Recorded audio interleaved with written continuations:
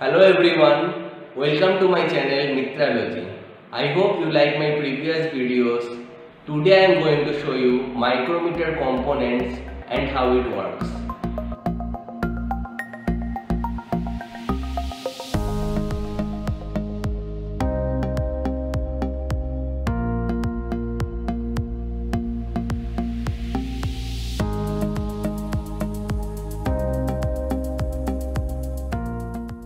So before starting the measurement, I want to show you the micrometer parts. As you can see, this is micrometer and this is, we can measure 0 to 25 millimeter and micrometer least count is 0.01 mm. So the first part is, this is the part you can see, this is anvil and this is C frame this looks like C this is the reason it called C frame this is spindle. This is lock nut lock nut basically is when I move this position I can lock it and do the measurement. Then I can't move it. And this is sleeve. This part is sleeve.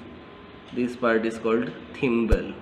This is knurled grip and this is ratchet so this is the main parts of the micrometer. You can see if I move it the scale is up to 25 mm so this is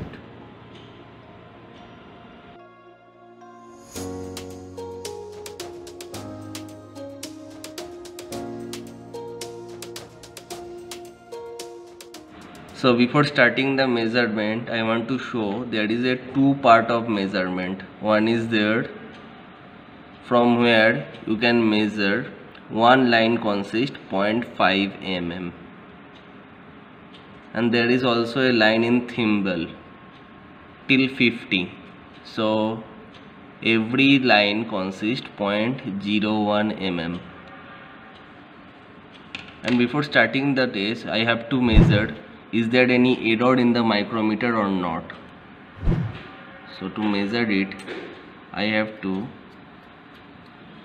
take it in zero position.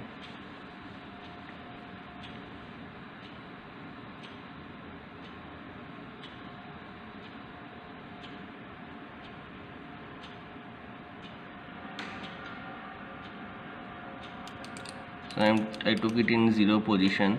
As you can see the zero line and this zero point is almost coincide. So there is negligible error. So we can measure by this micrometer without taking any error. So at first I am measuring this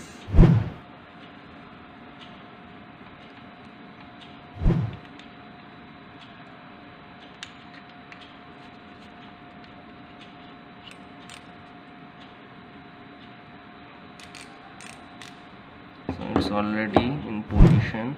I'm locking it up. As you can see the 5 number 5 line is clearly visible. So I can say it's 5 and after that I have to see what is in it. This is only one line after 0 so 5 plus 0.01 the measurement will be 5.01 mm. I am taking the next part. If I measure this let's see what happens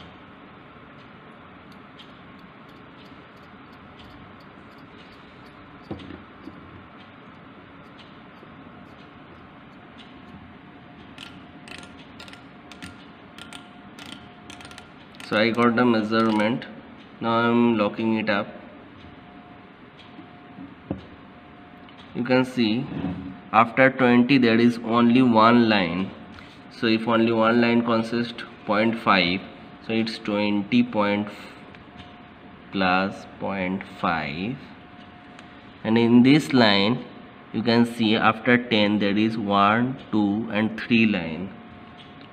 So it will be 0.13 so total measurement of this part is 20.63 mm